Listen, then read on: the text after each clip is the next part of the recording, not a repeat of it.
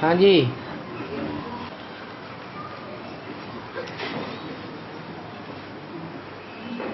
प्रश्न आया है, ब्रह्मा की पूजा गणेश के रूप में होती है। ऐसे ही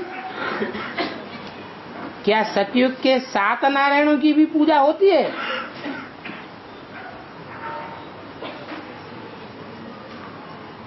अब ब्रह्मा तो चौरासी जन्म लेने वाला।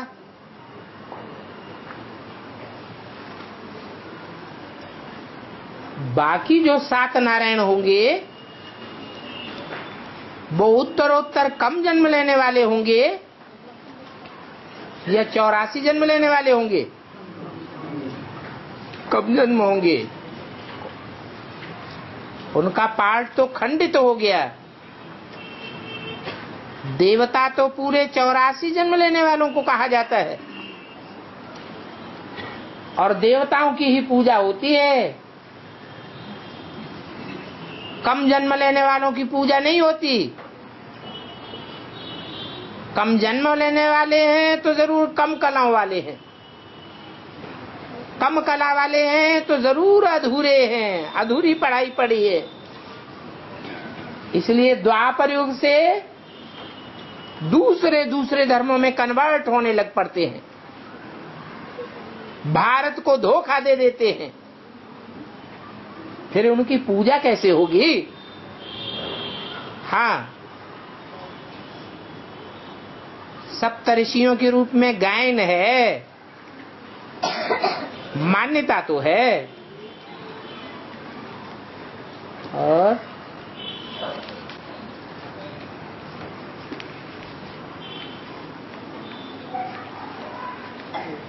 Mm-hmm.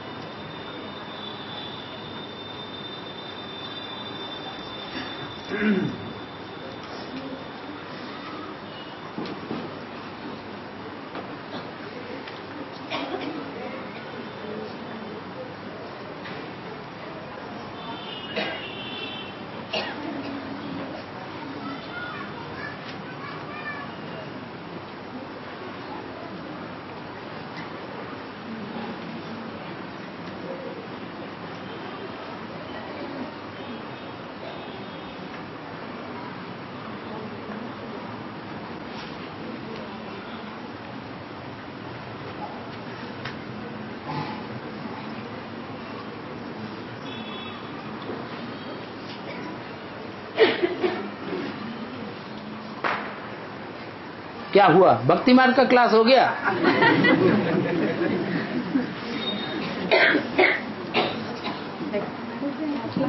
भक्ति मार्ग में सत्संग होते हैं, वहाँ कोई प्रश्न थोड़े ही पूछते हैं।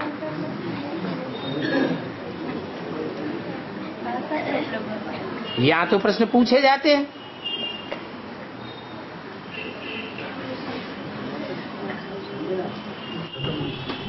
पूरी खत्म हुई रही पूरी खत्म हुई है खत्म हो गई? तो पढ़ाई खत्म? जब तक जीना है तब तक पीना है। जीना है दे अभिमान में तो फिर पीना भी है। और दे अभिमानी की पूछ खत्म हो गई तो उठो भागो।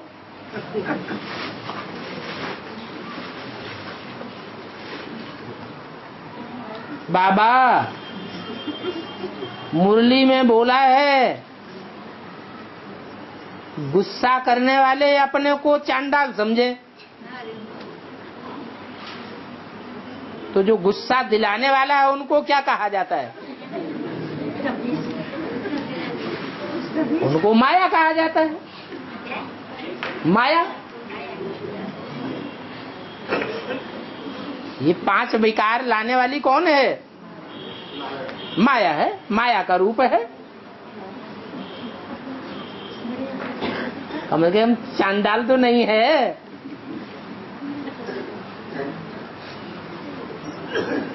और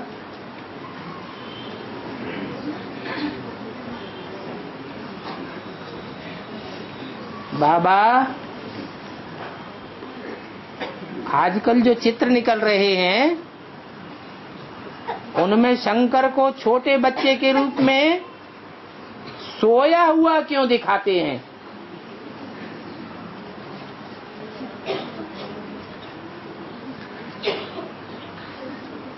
जब आदमी सोता है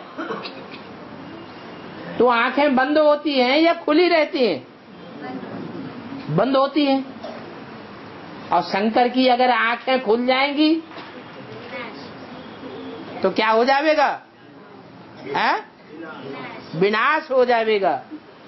इसलिए सोया रहने दो। प्रश्न मत उठाओ।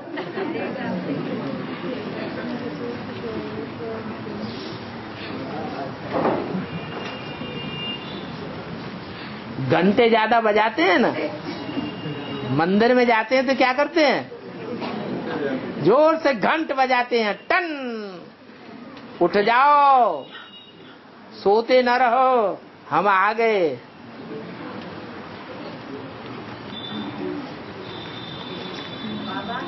हाँ जी। तो राधा को जन्म देते बाद जब वो बड़े हो जाते हैं तो के चले जाते हैं तो में फिर उनका दूसरा कहाँ होता है नीचे गिर जाएँगे? वही पदवी थोड़ा ही बनी रहेगी। नीचे गिरते गिरते गिरते, आखिरी सतयुगी जन्म में जाकर के प्रजा बन जावेंगे। प्रजा साहूकार भी हो सकती है। इसलिए गायन है राम राजा, राम प्रजा, राम साहूकार है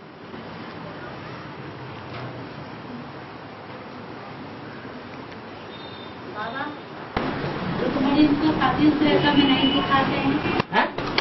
रुक्मणी को। कहाँ रुक्मणी त्रेता में किस जगह उसको दिखाते हैं।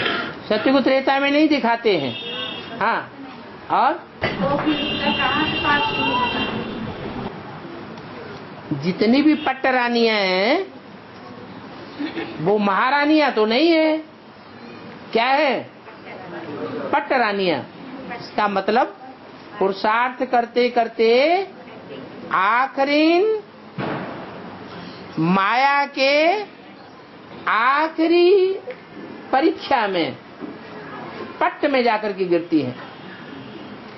फेल हो जाती है। इसलिए उनका नाम रखा जाता है पट्ट रानियाँ तो जो फेल होने वाले हैं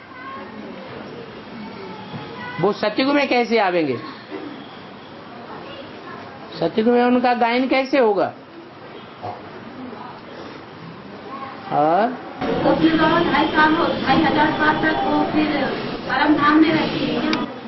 परम धाम में है नहीं रहते हैं लेकिन नंबरवार आते हैं अपने अपने नारायणों के साथ। और? से नहीं।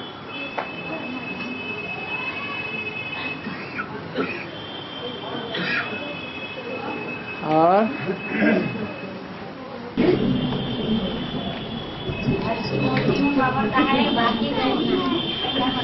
है? हैं? जी। बाकी पहनना माने? जैसे प्यार में जब बहुत दिनों के बाद कोई मिलते हैं तो एक दूसरे को गले मिलते हैं। एक दूसरे की बाहों में बाहें डाल करके मिलते हैं। उसको बाकी पहनना कहा जाता है। के बारे में पहले बाबा सालों साल पहले बहुत बताते थे लेकिन अब कम बताना गया क्या अष्टदेव की शिक्षा भी नहीं आगे तक किया। हैं? अष्टदेव क्या हुआ? हो। तो पहले तो बाबा बहुत बोलते थे लेकिन अब इस समय बाबा के बारे में कम बता रहे हैं फ़र्स्ट और सेकंड अच्छा होता है कि थर्ड फोर्थ अच्छा होता है। है? ज़्यादा गायन किसका करना चाहिए? तो फ़र्स्ट सेकंड का गायन होता है। बाद में जो और नंबर बनते हैं थर्ड क्लास फोर्थ क्लास वो तो अपने आप ही प्रत्यक्ष हो जाएँगे। बाद में पता हाँ जी।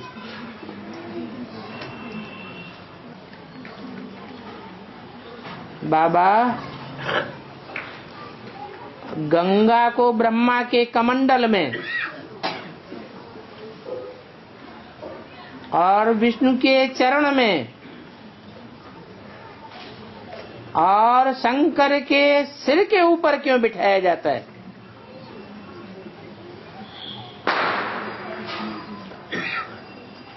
कमंडल किसे कहा जाता है?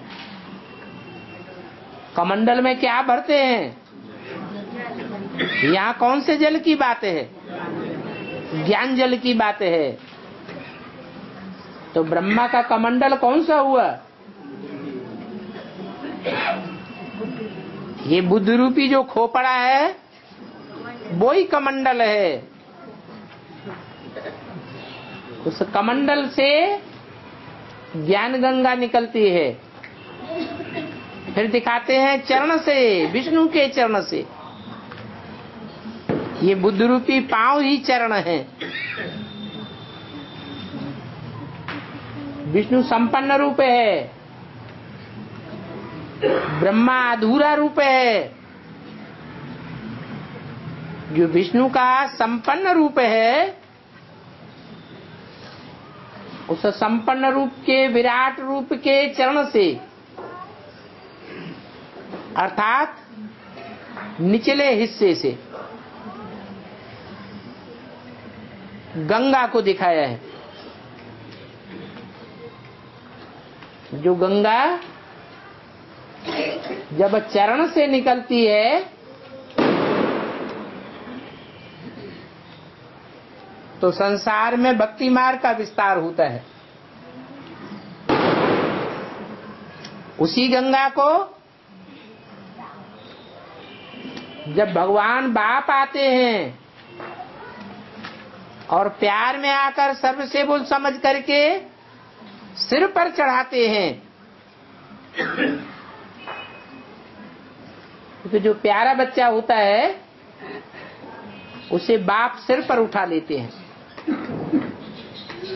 तो वो ही गंगा, जिसका कनेक्शन भगवान के बुद्ध रूपी जटा से हो जाता है, वो फिर पतित पावनी बन जाती है। पतितों को पावन बनाने वाली बन जाती है। और जटा से जब बाहर निकलती है, नीचे की ओर जाती है तो फिर गिरती है।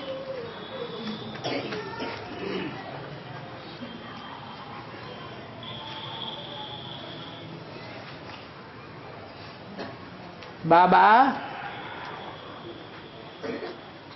जो बेसिक में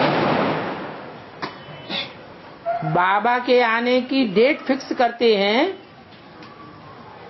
वो डेट फिक्स कौन करता है?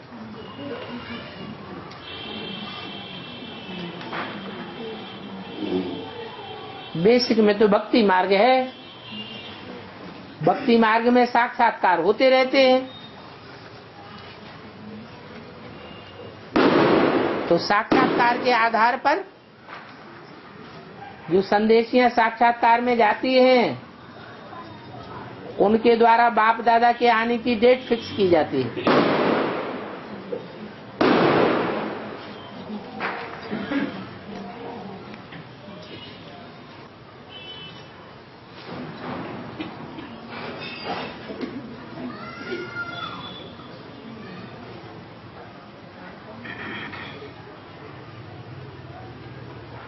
संगमी भी लक्ष्मी नारायण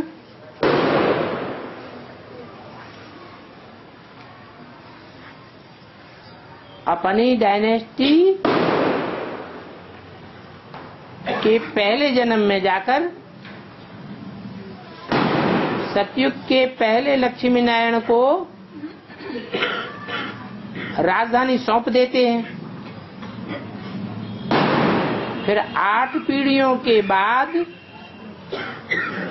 जन्म लेकर त्रेता युग के पहले जन्म में आते हैं।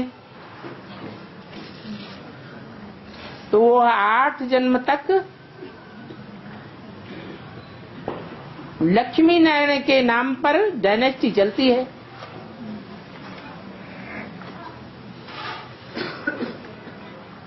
तो आठ जन्मों तक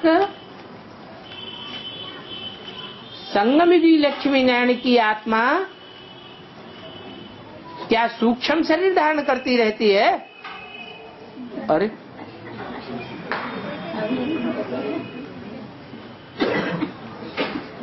सूक्ष्म शरीर।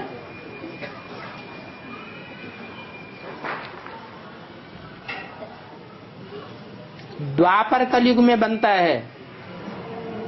संगम युग में बनता है। सतयुग त्रेता में सूक्ष्म शरीर नहीं होता है। वहाँ तो आत्मा निराकार, साकार शरीर धारण करती है।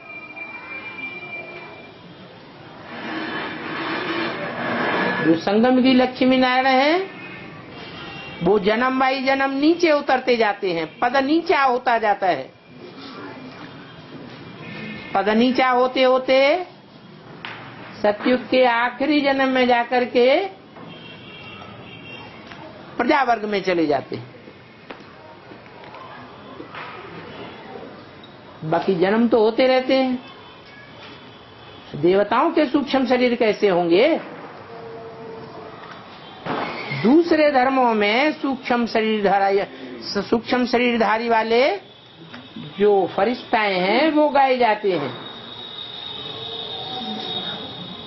भारतवर्ष में तो साकार देवी देवताओं की मूर्तियाँ बनाते हैं। उन्हीं की पूजा होती है। फरिश्तों की कोई मान्यता नहीं है। ये तो अभी विदेशियों का प्रभाव हुआ है। छह आठ सौ सालों से जो भारतवासी भी भूत प्रेतों की पूजा करने लगे हैं, सूक्ष्म शरीरधारियों की। नहीं तो भारत में तो देवताओं की ही पूजा होती आई है, देवताओं की ही मान्यता है। भूत पूजा तो थर्ड क्लास पूजा है।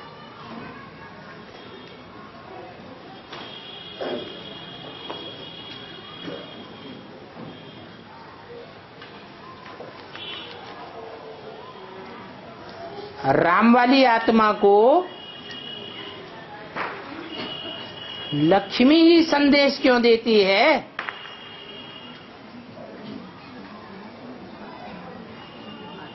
ये प्रश्न गलत पूछा है।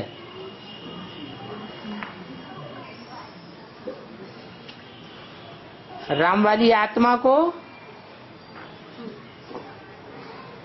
संदेश नहीं मिलता है लक्ष्मी से।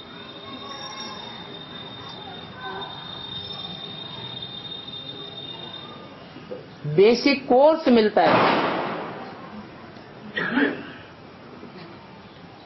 संदेश देने वाली आत्मा तो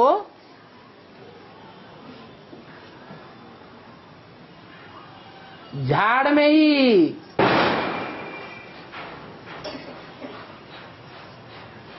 इशारा दे दिया है।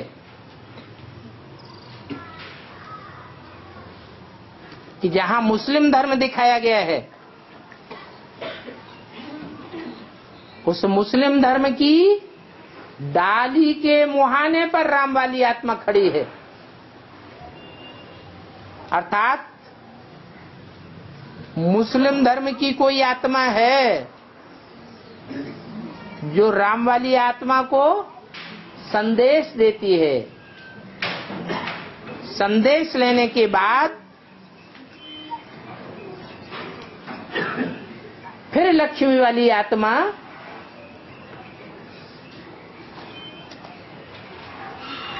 बेसिक का साप्ताहिक कोर्स लेती है।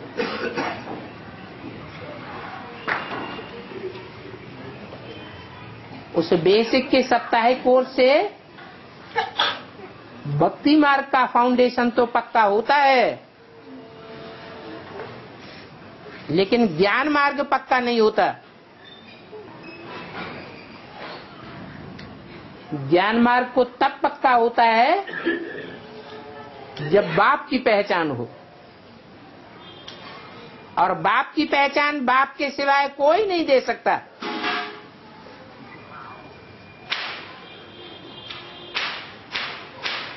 स्वयं ज्ञान सूर्य बाप ही। मनुष्य सृष्टि के पिता को अपनी पहचान देता है। वो मनन चिंतन मंथन की बात है। गुप्त रूप में प्रवेशता की बात है। प्रत्यक्ष होने की बात नहीं है। वो ज्ञान गर्भ की बात है। ज्ञान गर्भ में पाँच छह महीना आत्मा, ज्ञान गर्भ में जैसे मनन चिंतन मंथन में पकती रहती है। बाद में प्रत्यक्षता रूपी जन्म होता है। जैसे ब्राह्मणों की दुनिया में मनाया गया बाप का प्रत्यक्षता वर्ष। बाकी लक्ष्मी वाली आत्मा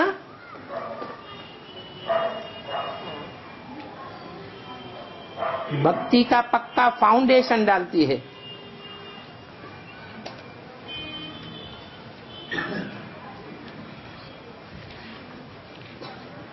जगदम्बा तो बेटी है। बाप की। बेटी थोड़े ही बाप को ज्ञान देती है।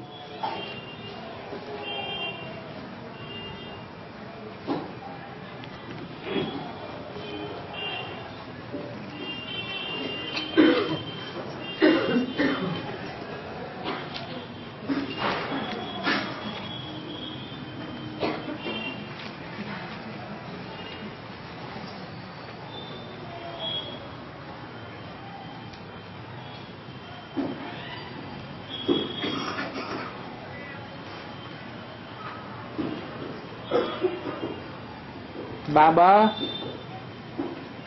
जो क्लास में सोते तो नहीं हैं, परंतु उनका स्वभाव संस्कार कोई को अच्छा नहीं लगता है।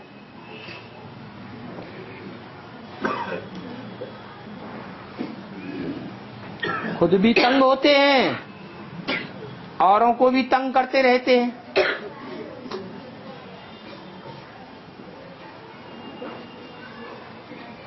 तो क्या उनकी आत्मा पर पापों का बोझा नहीं है?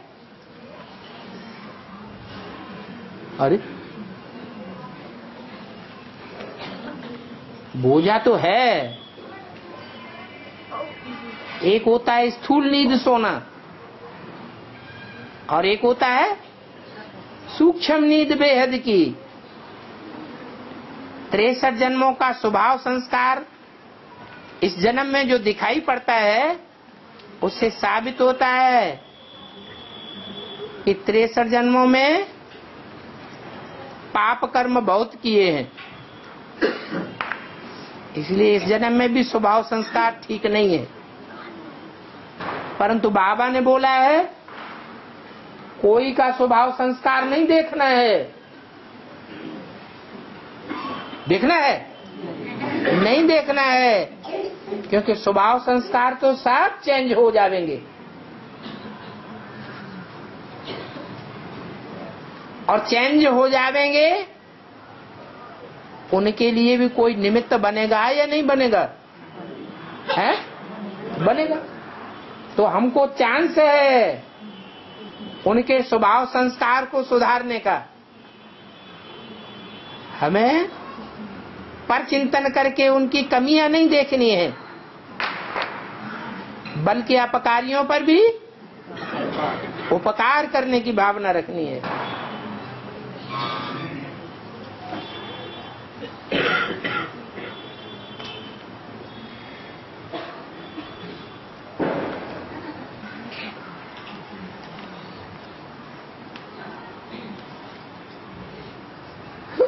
भक्ति मार्ग के एक चित्र में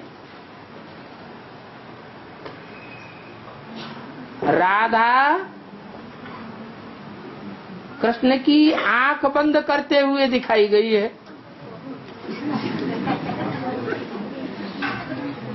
इसका बेहद का अर्थ क्या है?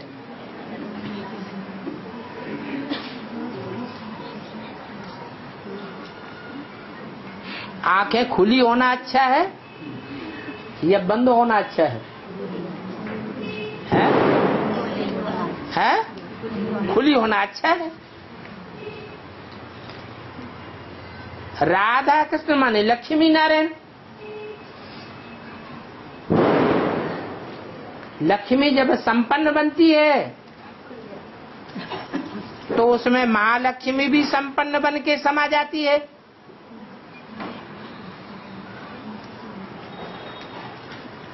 लक्ष्मी महालक्ष्मी कही जाती है।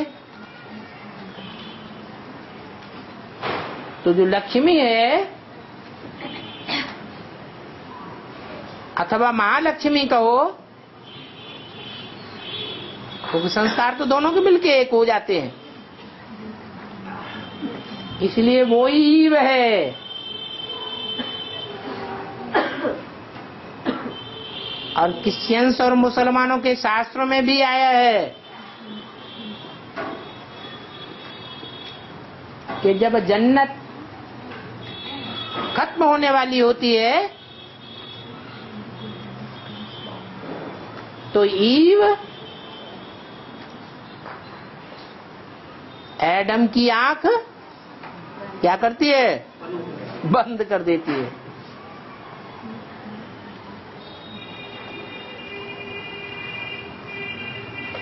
और वो दोनों दो जख में गिर जाते हैं।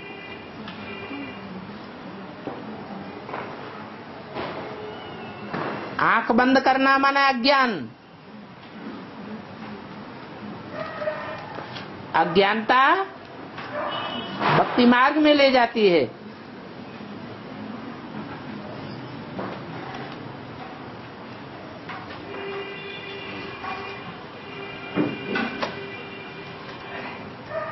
ब्रह्मा से बेसिक नॉलेज आती है।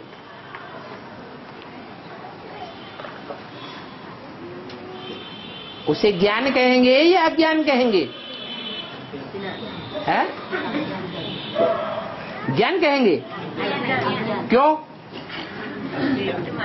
है? भक्ति मार्ग क्यों है? क्या बाप की पहचान नहीं देते? क्यों? सुनने सुनाने का? क्यों? आत्मा के बाप की पहचान नहीं मिलती है?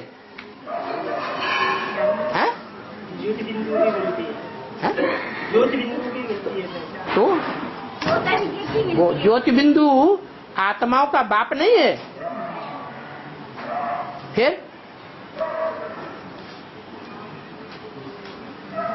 वो अज्ञान कैसे हो गया?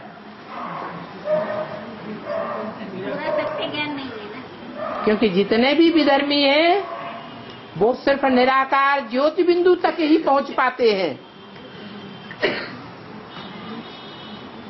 वो निराकार ज्योति बिंदु कैसे साकार के द्वारा सृष्टि का कल्याण करता है, उस बात को नहीं जान पाते।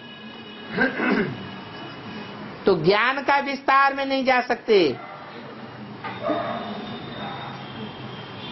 ज्ञान में विस्तार भी है और ज्ञान में सार भी है। जो देव आत्माएँ हैं, वो मनन चिंतन मंथन करके अपने चौरासी जन्मों के विस्तार में भी जाती है और फिर सार में भी आती है।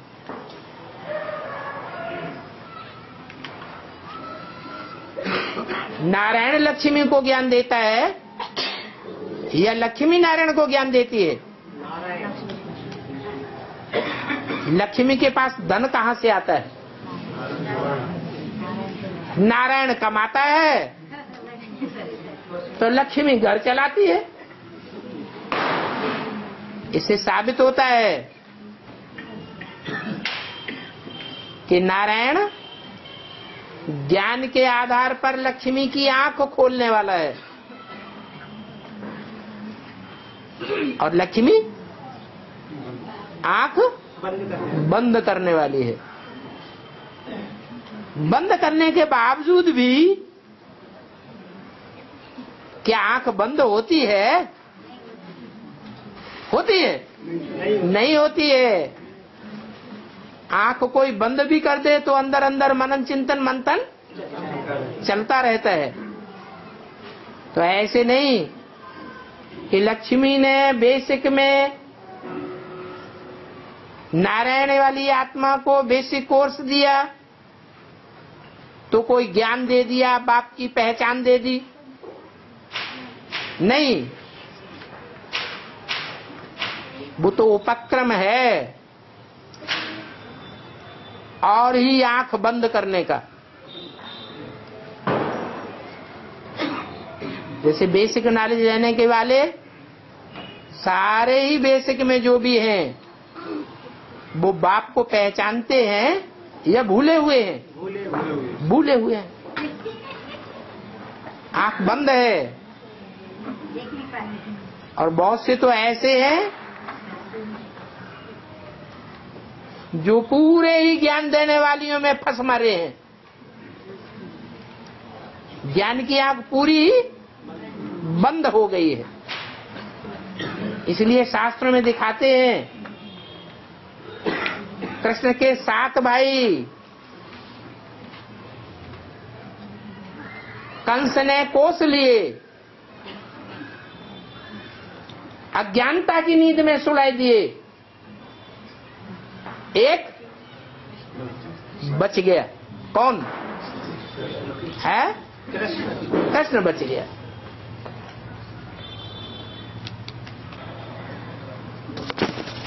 ओहो।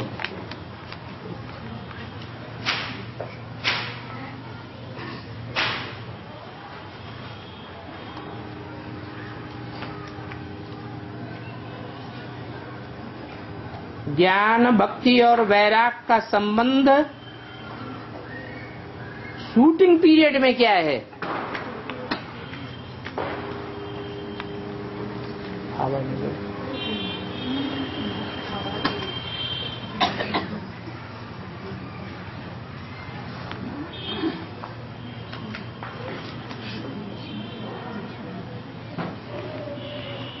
ज्ञान का संबंध भक्ति से है।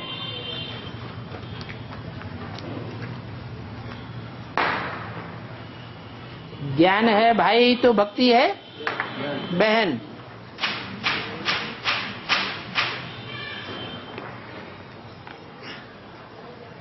ज्ञान जब मिलता है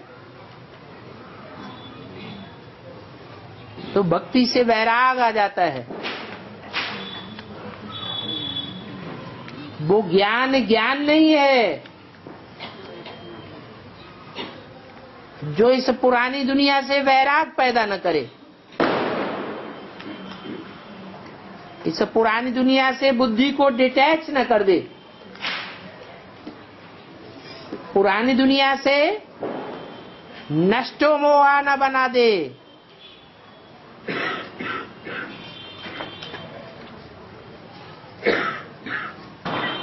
भक्ति मार्ग में उल्टी बात कहते हैं। कहते हैं, बिनु बैराग विवेक न होई। बैराग के बिना ज्ञान नहीं होता। माना पहले बैराग होना चाहिए, बाद में ज्ञान। लेकिन ऐसा नहीं है। असलियत क्या है? पहले ज्ञान आना चाहिए बाद में बैराग आता है। नहीं तो ढाई हज़ार वर्ष में जो हिस्ट्री बनी है वो हिस्ट्री बताती है कि दुनियादारी से मनुष्यों में बैराग बढ़ा है या घटा है, है? बल सन्यासी आए लेकिन दुनिया से वैराग नहीं आ सका। और ही राग देश में गिरते चले गए। ये तो भगवान बाप ही है। कि जब आता है तो नंबरवार आत्माओं को ज्ञान बुद्धि में बैठता है। और इस दुनिया से आत्मा विरक्त होती जाती है। परम धाम की ओर बुद्धि लटक जाती है।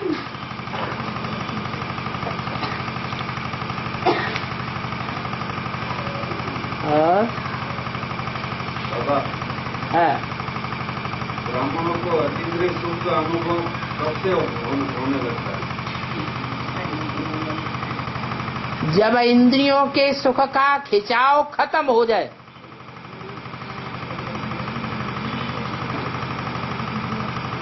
याद करते करते योग बल की पावर से इंद्रियाँ ऐसी शीतल हो जाएँ कि विषय भोग सामने हो। तो भी उसमें कोई इच्छा जागृत न हो। इच्छा मात्रम अविद्या।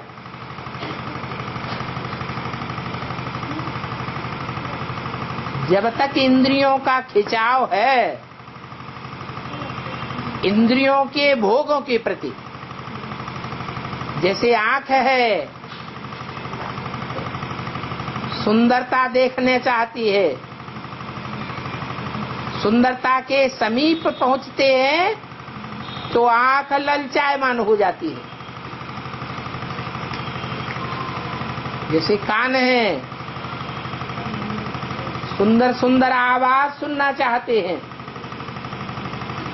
मीठी आवाज़ के नज़दीक पहुँचते हैं तो ऐसे लगता है कि इसी के नज़दीक रहें। वो खिंचाव खत्म हो जाए। कोई भी इंद्रिय है, उस इंद्रिय के जो विषय भोग हैं, उन विषय भोगों की तरफ़ बुद्धि आकर्षित होती है, माने अतीन्द्रिय सुख है या नहीं है? नहीं हो सकता। इसलिए बोला, जब तुम बच्चे संपन्न पुरुषार्थ के स्टेज पर पहुँचेंगे तो अंत में तुम्हारी कर्मातीत अवस्था होगी। अतीन्द्रिय सुख भाषेगा। अभी तो इंद्रियों का सुख जीव क्या चाहती है, है? अरे जीव क्या चाहती है? एक खिचड़ी खाना खत्म हो जाए या खिचड़ी ही चलती रहे। क्या चाहती है? है? हाँ। ये खिचड़ी सरेंडर भी नहीं होने देती ब्रह्मा कुमारियों को।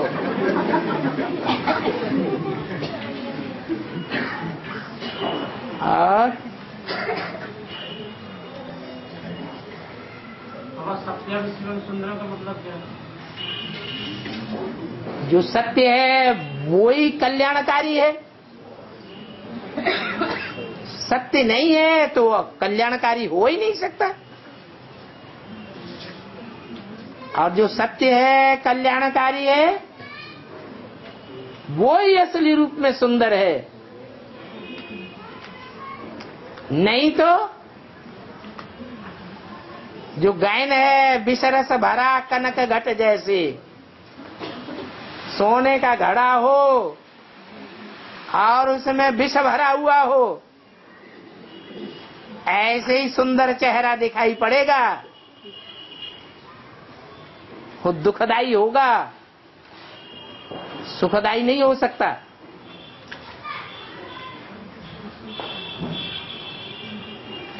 तो सुंदरता को बाद में रखा है।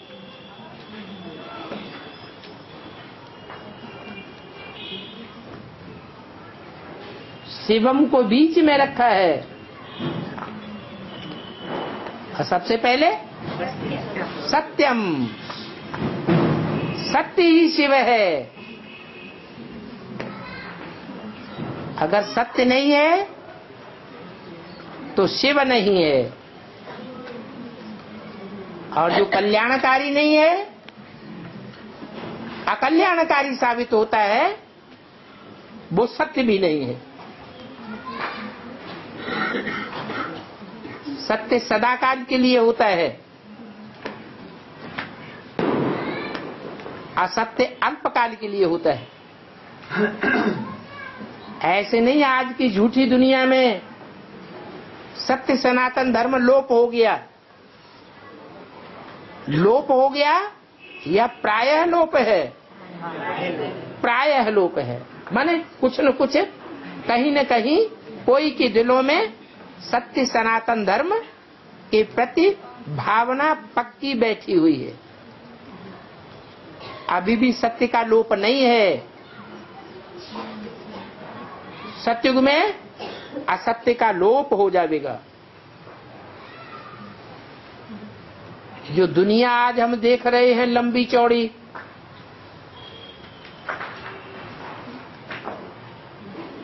विदेशों की दुनिया, वो पहले नहीं थी। अब है। तो जो नहीं थी, अब दिखाई पड़ती है। इसका मतलब सत्य है या झूठी है?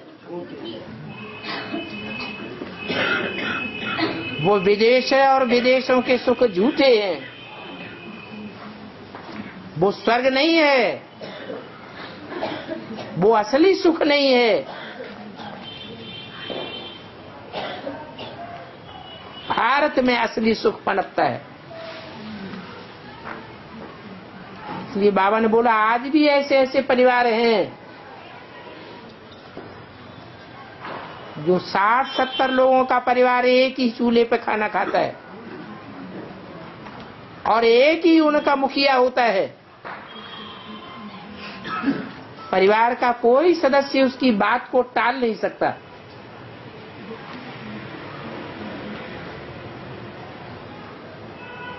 जैसे कि राजाई चलती है।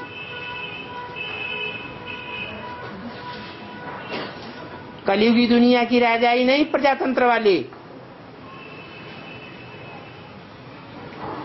जो राजाई बाप आकर के स्थापन करते हैं। वो पारिवारिक परंपरा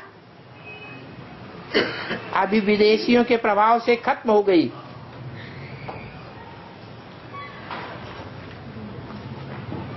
अभी बाप आकर के फिर सभ्यता का, उस परंपरा का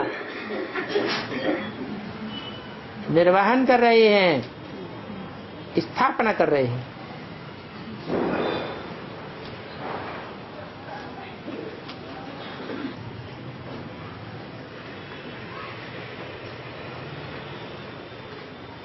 कोई कोई आँखें खोलकर सोते हैं। इसका क्या मतलब है?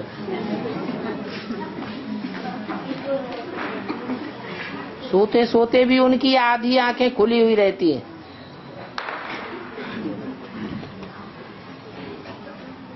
भक्ति मार्ग में तो कहते हैं, जो आँखें खोलकर सोता है, वो बहुत भाग्यशाली होता है।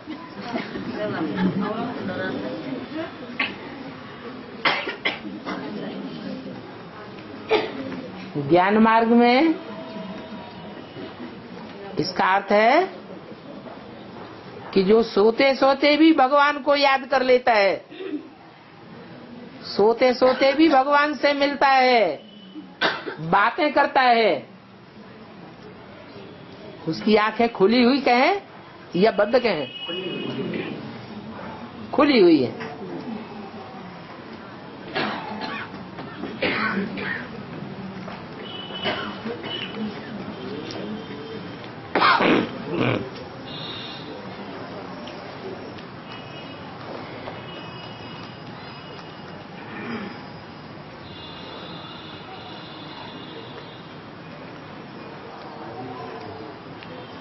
बाबा जो झूठी कंप्लेंट करके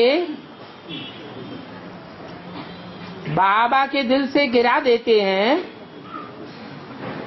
उनको क्या पद मिलता है? और जैसा करेंगे, वैसा ही भरेंगे। हमको इस बात की क्या चिंता?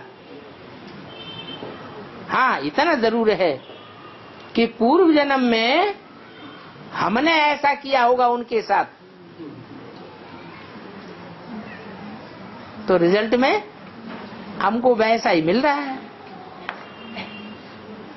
बाकी हमने जब किया था तो उस पाप का हमको एक गुना दंड मिला। मिला कि नहीं? है?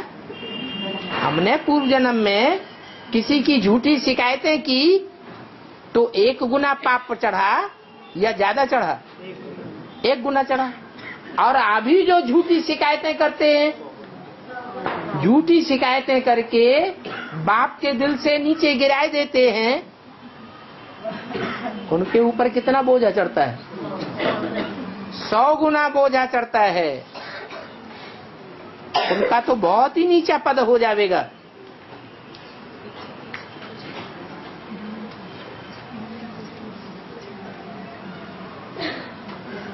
इसलिए कोई क्या करता है?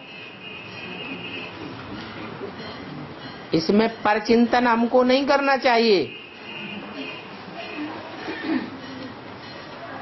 ये तो ईश्वरीय ज्ञान है।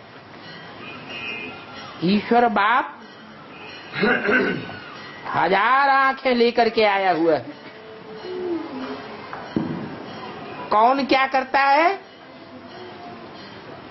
अंत में सब क्लियर हो जाएगा। दूध का दूध और पानी का पानी हो जाना है। इसलिए जो कमज़ोर आत्माएँ होती हैं, वो फड़फड़ाती हैं। अरे, हमारी शिकायत ऊपर चली गई। क्या हो जाएगा? बाबा भी विश्वास कर लेते हैं।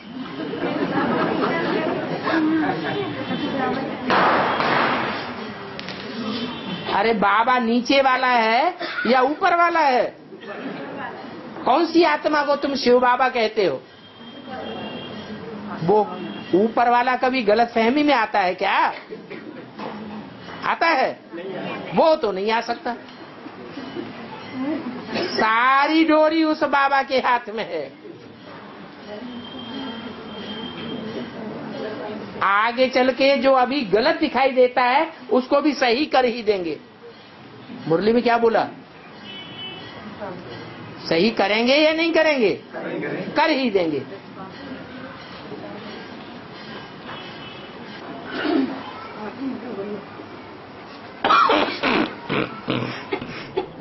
परम धाम में अपना भाई भाई माना जाता है तो? पर आने के बाद भाई भाई बहन का संबंध क्यों मान लेंगे क्या क्या मतलब क्या? क्या? परम में आत्मा भाई भाई माना जाता है, बोला जाता है। या इस सृष्टि पर आने के बाद भाई बहन का संबंध या मानते हो इसका क्योंकि यहाँ प्रकृति बीच में आ जाती है ना। प्रकृति के पाँच तत्वों का बना हुआ शरीर में आत्मा आ जाती है। वहाँ प्रकृति के पाँच तत्व नहीं है। प्रकृति स्त्री का रूप है और पुरुष, माने आत्मा, वो पुरुष का रूप है। इसलिए आत्मा आत्मा, भाई भाई। वो आत्मा प्रकृति के संयोग में आ जाती है। तो स्त्री जन्म भी लेना पड़ता है, पुरुष जन्म भी लेना पड़ता है।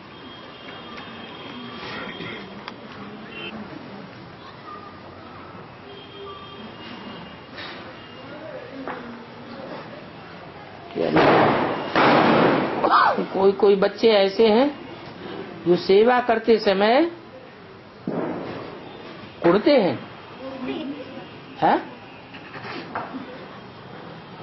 नहीं, कहते हैं, सेवा करते समय कहते हैं, मुझे गुस्सा आता है।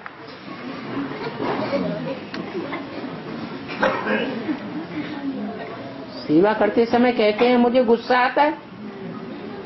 अगर सेवा न करें तो गुस्सा नहीं आएगा।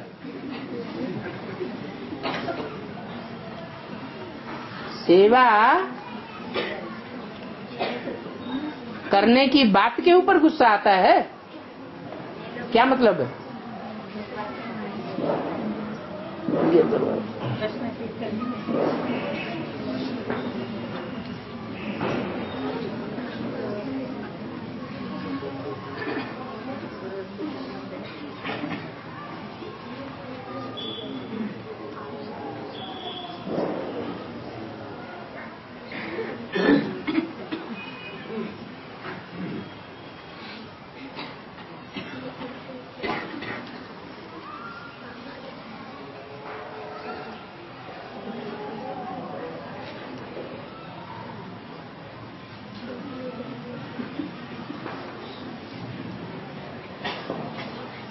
संगम युग के कृष्ण वाली आत्मा को जेल होती है। तो चार महीने के बाद फिर जेल से बाहर निकल आती है।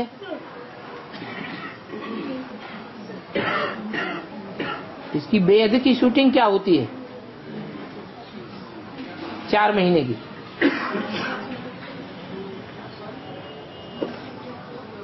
ये हद की शूटिंग बताइए बेहद की बताई? वो ज्ञान गर्भ जेल है।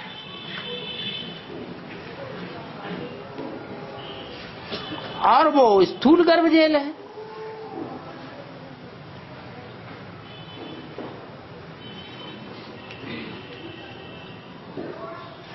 जो संगमगी कृष्ण के बारे में लागू होगा वो सतरी कृष्ण के बारे में भी लागू होता है। और सारी दुनिया के लिए लागू होता है। कोई भी आत्मा चार पाँच महीने ही गर्भ जेल में रहती है। बाद में प्रत्यक्ष हो जाती है।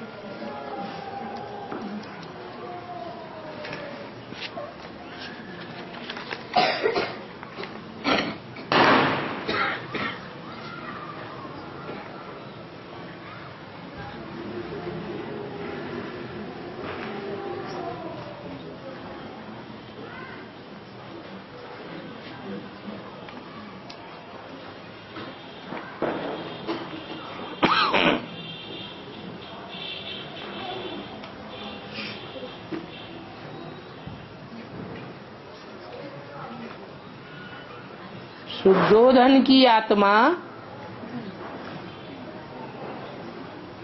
अगर अष्टदेव से बने तो बौद्ध धर्म का बीज अथवा मुखिया को क्या पद मिलेगा? अर्थात क्या पार्ट मिलेगा?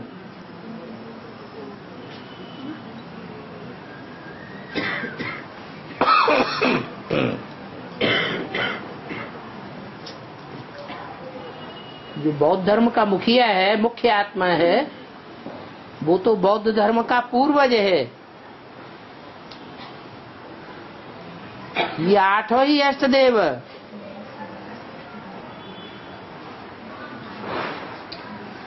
पूर्वज हैं।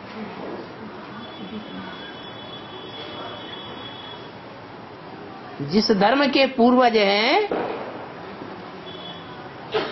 उसी धर्म में जाकर के अंतिम जन्म में गिरते हैं।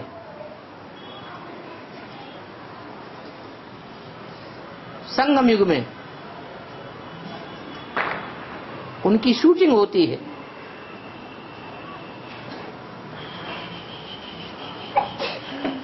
तो पूर्वज का ही पद बनता है। पूर्वज तो बहुत ऊँचे माने जाते हैं। पितरों की पूजा होती है। उनको पूर्वज समझा जाता है। उनको खिलाते हैं, पिलाते हैं, पूजा करते हैं। इसलिए भक्ति मार्ग में पितृ पूजा का विधान है।